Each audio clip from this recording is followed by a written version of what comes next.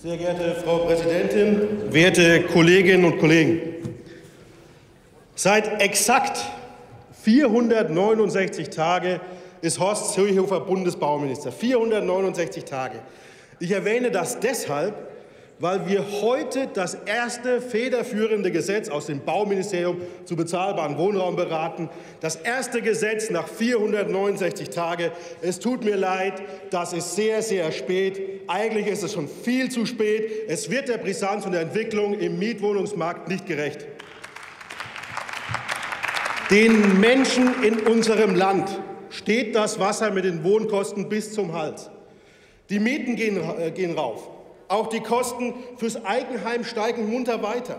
Trotz allem Baukindergeld, aller Strohfeuer-AFA und ganzen, des ganzen Regulierungswahns, wir kommen nicht voran. Und obendrauf verfehlt die Bundesregierung auch noch die selbstgesteckten äh, Wohnungsbauziele. Äh, dabei wäre eine Bauoffensive wirklich mehr als dringend notwendig. Es fehlen nach 469 Tagen im Amt immer noch Millionen Wohnungen in Deutschland. Deswegen steigen die Mieten und die Preise. Wohnen wird aber erst wieder für alle bezahlbar, wenn wir mehr bauen, wenn wir schneller bauen, wenn wir günstiger bauen. Das muss oberste Priorität haben. Alles andere ist Globuli-Politik.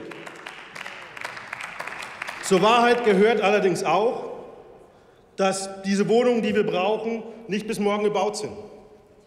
Deswegen müssen wir die Menschen die sich die Mieten nicht leisten können, unterstützen. Und ich sage ganz bewusst die Menschen, denn wir als FDP wollen das Geld nicht in Beton gießen wie alle anderen Parteien. Deswegen ist das Wohngeld grundsätzlich eine gute Idee, weil es treffsicher denjenigen hilft, die wirklich Hilfe brauchen, weil es den Menschen hilft, in ihren Wohnungen, ihren angestammten Viertel zu verbleiben und sie nicht in Sozialsiedlungen an den Stadtrand zwingt. Aber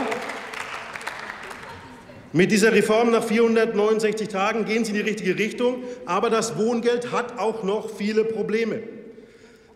Deswegen ist es richtig und wichtig, dass wir anfangen, darüber zu beraten. Aber es ist auch mehr als überfällig. Denn seit Jahren drängen wir Freie Demokraten auf ein höheres und ein stärkeres Wohngeld. Und was noch viel wichtiger ist, auf eine automatische Anpassung des Wohngelds. Denn das Wohngeld ist momentan viel zu stark. Wer eine kleine Gehaltserhöhung bekommt, wächst aus dem Wohngeld heraus und hat am Ende weniger übrig. Das ist ein Riesenkonstruktionsfehler und es ist äh, leistungsfeindlich. Deswegen bin ich wirklich froh, dass die automatische Erhöhung es auf unseren Druck hin mit in die Wohngeldreform geschafft hat.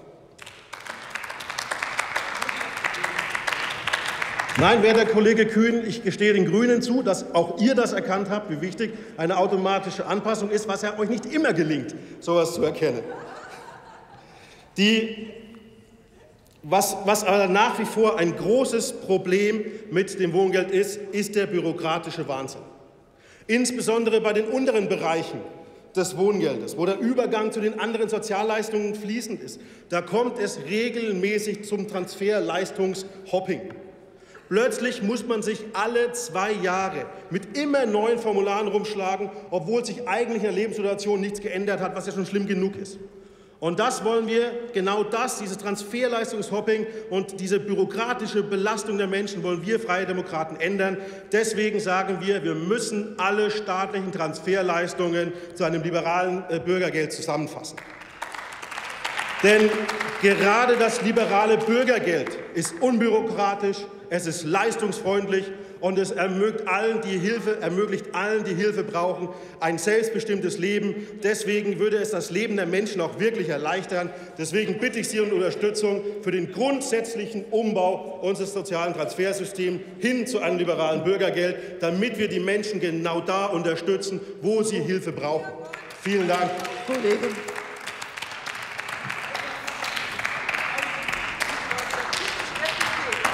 Das Wort hat die Kollegin Nicole Gohlke für die Fraktion Die Linke.